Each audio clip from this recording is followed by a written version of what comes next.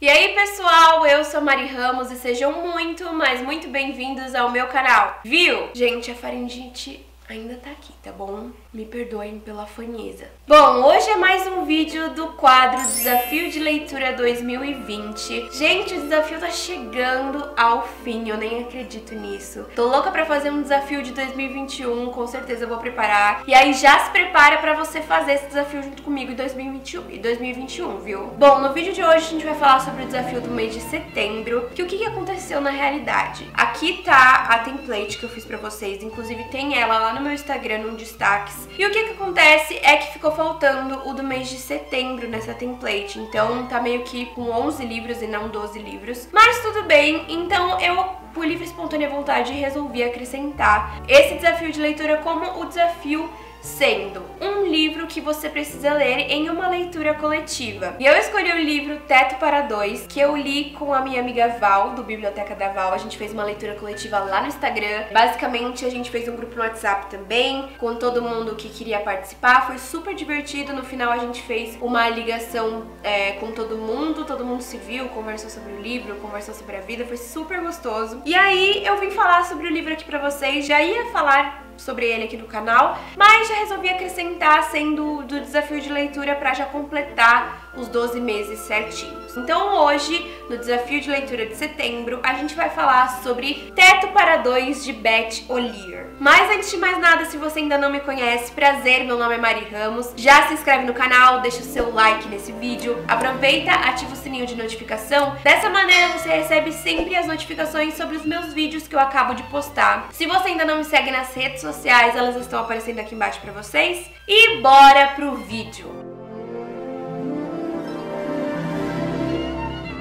Bom, Teto para Dois é um livro bem recente. Ele foi lançado no dia 9 de setembro de 2019. E como vocês podem ver, o livro é da editora Intrínseca. Ele é muito lindo, inclusive muitas pessoas demoram para perceber que aqui é uma cama e aí tem dois, um chazinho aqui vazio e um café aqui. Aqui é muito legal porque tem todos os post-its aqui atrás. Tem total relação com a história do livro, né? Essa é uma obra de romance leve e divertido, escrito por Beth O'Lear. E acreditem, é o primeiro livro adulto escrito por ela, porque antes ela só escrevia é, livros infantis. Inclusive tem essa história aqui atrás do livro numa mini bio, biografia sobre ela. Eu comecei a ler por conta dessa leitura coletiva que eu fiz com a Val. Inclusive tá rolando uma outra leitura coletiva que vai começar no dia 1 de outubro, que a gente vai ler Os Sete Maridos de Evelyn Hugo. Então, se você quiser, é só entrar no meu Instagram e no Instagram da Val, que a gente sempre explica lá direitinho como é que vai funcionar. Tem o link do grupo no WhatsApp na, na bio, enfim. Se você quiser participar, é só entrar no nosso Instagram. E a nossa leitura coletiva terminou no dia 16 de setembro, foi muito legal. E assim, eu acho que a escolha do livro foi muito boa, porque o livro é leve e divertido. Conta a história de Tiff e Leon. Nossa, olha que, olha que, que fanho, Leon. Leon. Conta a história de Tiff e Leon, que por questões financeiras e também porque a Tiff terminou um relacionamento, eles decidem morar no mesmo apartamento. Eles não se conhecem, a Tiff apenas viu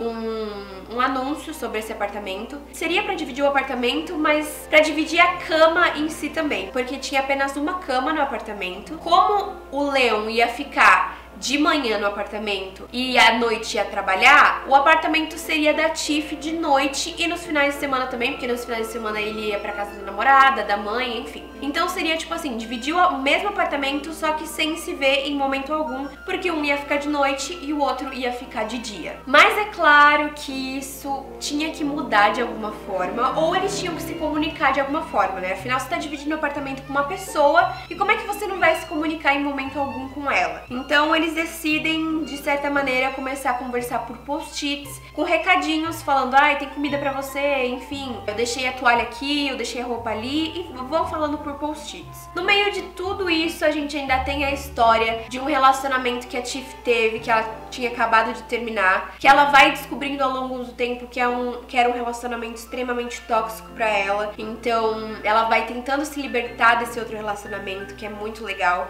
A gente ainda conhece outros amigos da Tiff que são maravilhosos.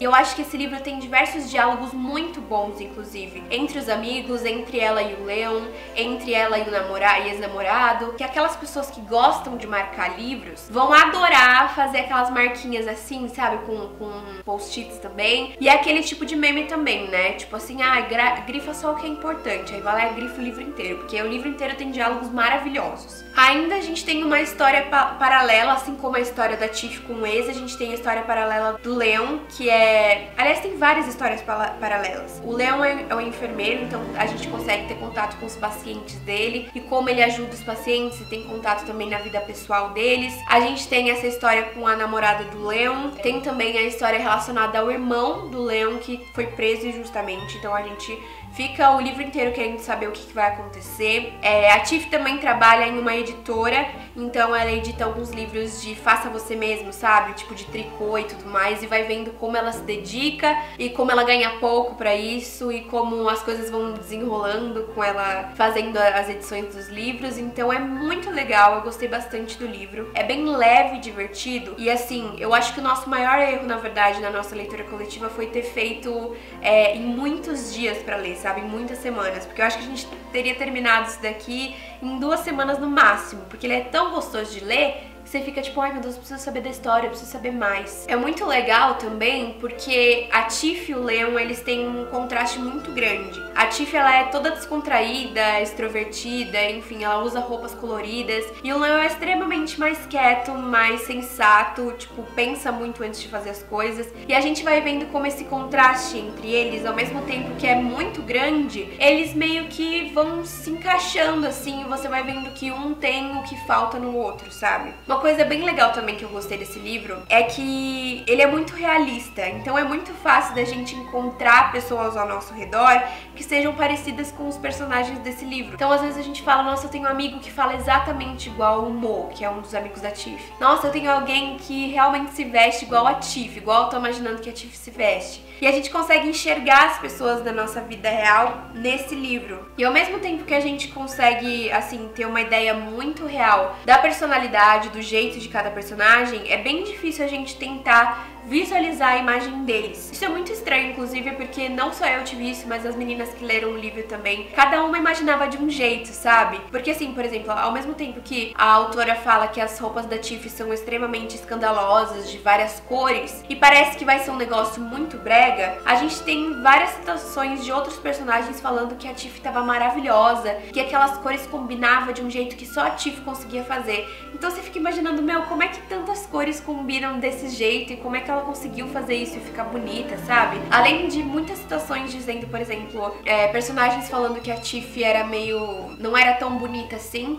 e personagens dizendo que ela era maravilhosa. Eu acho muito legal isso porque mostra, de certa maneira, que cada um tem uma perspectiva sobre a pessoa, sabe? O que é bonito para mim não é bonito para você, ou o que é bonito para mim é bonito para você, enfim. As pessoas têm gostos diferentes, isso é muito legal de se ver, e eu gostei muito de ver isso no livro, porque raramente um livro faz isso. E uma coisa que eu gostei bastante sobre o livro é que para mim ele não teve baixos. Eu li ele e para mim em nenhum momento eu fiquei tipo, nossa, que livro chato, nossa, tá um pouco desanimado agora nessa parte. Parece que o livro é muito linear, mas uma linha assim bem alta, sabe? Tipo, é, é legal do começo ao fim, é instigante do começo ao fim. Se você tá lá em algum universo pesado, de alguma saga que você leu, é, lê esse livro aqui, ele é bem gostoso, ele é bem divertido, dinâmico. Fazer todo mundo da minha casa aqui ler.